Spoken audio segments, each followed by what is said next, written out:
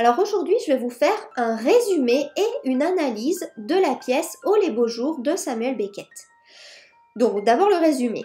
Winnie, une belle femme d'une cinquantaine d'années, est enterrée jusqu'à la taille et porte un sac à main et une ombrelle. Willy, son mari, dort derrière le monticule de terre. Winnie entame un monologue pendant lequel elle sort tous les objets de son sac avec frénésie.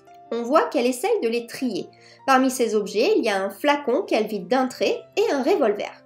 Ensuite, on voit Willy qui est en train de lire un journal. Winnie continue à parler toute seule de la vacuité de la vie.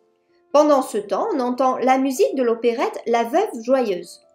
Winnie se met à interroger Willy au sujet de ses souvenirs, mais il ne se souvient plus de rien. À la fin du premier acte, Winnie demande à Willy de lui donner la définition du mot porc. Après ça, elle lui demande de prier sa vieille prière. On arrive à l'acte 2. Winnie est maintenant enterrée jusqu'au cou face au public. Seuls ses yeux peuvent encore bouger. On voit le revolver posé devant elle. À partir de ce moment, on entend une sonnerie qui se répète à intervalles réguliers jusqu'à la fin de la pièce. Winnie se met à évoquer tous ses souvenirs dans le désordre. Sa rencontre avec Willy, leur premier baiser, des cadeaux, son enfance. Tout cela l'emmène à s'interroger sur le temps qui passe. Willy arrive à quatre pattes. Il essaye de grimper sur le monticule de terre, mais il n'y arrive pas. Il retombe en bas en essayant de dire le prénom de Winnie.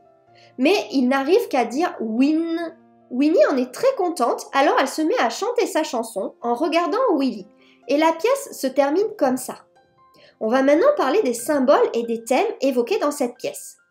D'abord les prénoms des personnages. Dans Winnie, on entend win qui signifie vaincre en anglais, et dans Willy, on entend will qui signifie la volonté en anglais. Cependant, Winnie est de plus en plus enlisée, et Willy arrive de moins en moins à parler. Donc finalement, ils font le contraire de ce que dit leur prénom. On a donc une réflexion sur le temps qui passe et aussi sur le temps circulaire puisque les journées du couple se répètent à l'infini de manière identique. Le temps est rythmé seulement par les répétitions de la sonnerie, la répétition des mêmes mots, des mêmes gestes et de la didascalie un temps qui indique des pauses.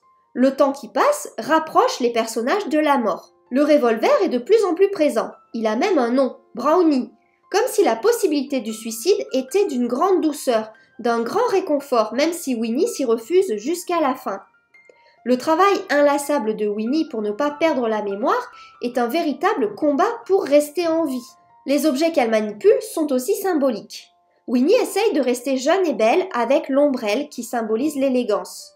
La brosse à dents permet d'entretenir la bouche et c'est très important puisque la bouche c'est ce qui sert à parler et euh, parler c'est ce qui fait l'être humain. Les mouchoirs renvoient aux larmes et donc aux émotions, donc encore une fois à l'humanité. Les lunettes montrent que Winnie veut garder sa clairvoyance quoi qu'il arrive. Elle s'accroche à son sac à main comme un coffre au trésor qui renferme ses souvenirs. Le paysage désertique symbolise l'absurdité du monde qui s'enfonce dans la déshumanisation depuis la Deuxième Guerre mondiale. C'est un théâtre de l'absurde.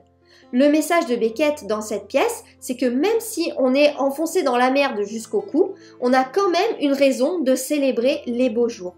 On est en vie. Vous pouvez recevoir mon analyse complète de cette œuvre en cliquant sur le lien correspondant dans la description en dessous de cette vidéo.